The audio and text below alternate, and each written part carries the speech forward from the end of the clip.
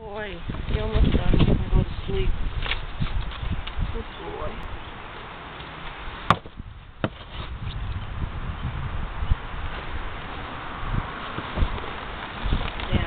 Just kicked you in the butt. Good boy. Walk up.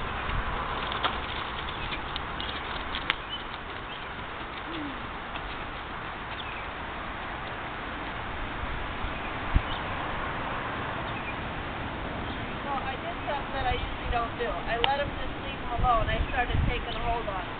So I just let him go long and low. Let him get used to it for a minute.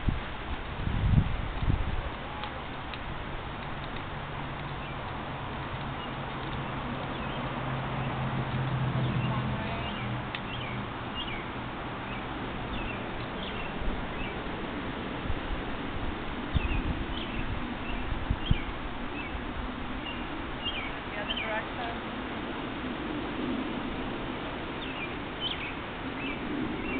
Good. Good.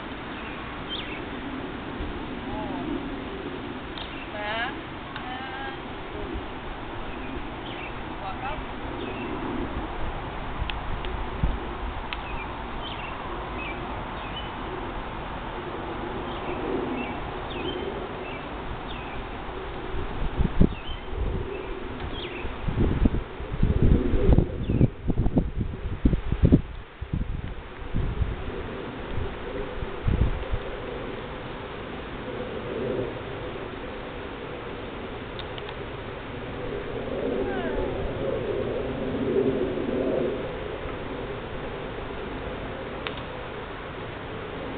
Here, just so I'm gonna take a hold of his face, so he gets his head down low, go forward.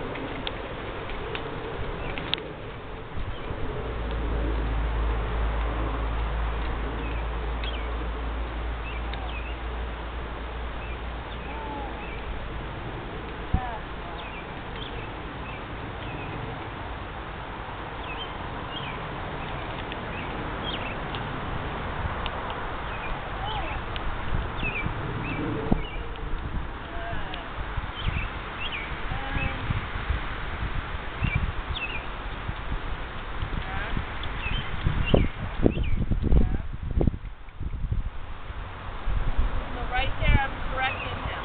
I want to hold, I want him to back up, and I don't want him backing up crooked, so I'm going to correct him.